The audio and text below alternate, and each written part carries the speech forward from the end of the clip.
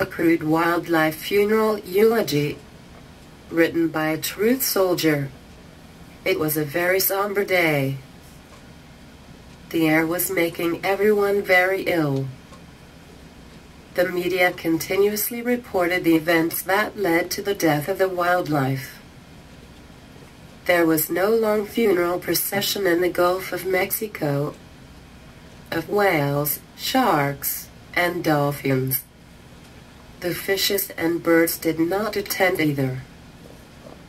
There was only the human animal that could show up for the funeral, but they did not choose to attend.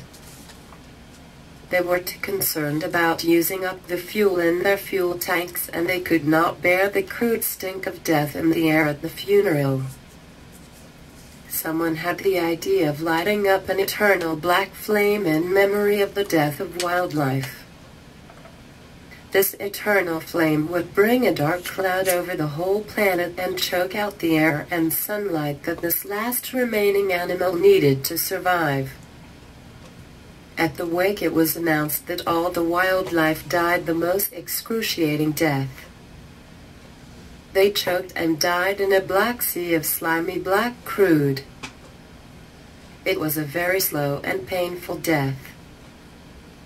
The wildlife was buried in this black crude of death.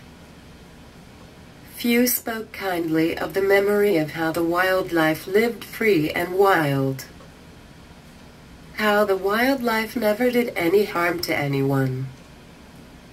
No one spoke of the slow death of wildlife that had been coming on for years for the few that attended the funeral were the ones that were part of the cause of the death of the wildlife. Those that attended the funeral were very somber for they realized that they were indeed attending their own eulogy. For without wildlife it was guaranteed that they would also soon die. There was only one crude black tear shed. The tear came from heaven for God was crying.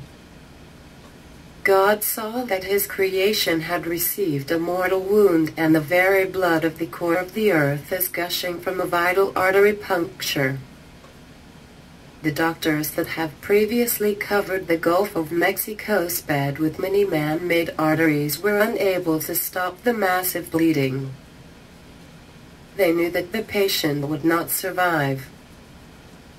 Please read God is crying and read about the tears of a native Mi'kmaq elder in My Vision Quest www.scribd.com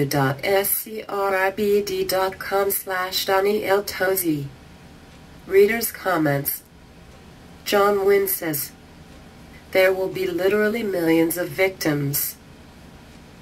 People need to understand the sea and the air are not really separate bodies. There is only one atmosphere with a constant exchange between the sky and the sea and the earth.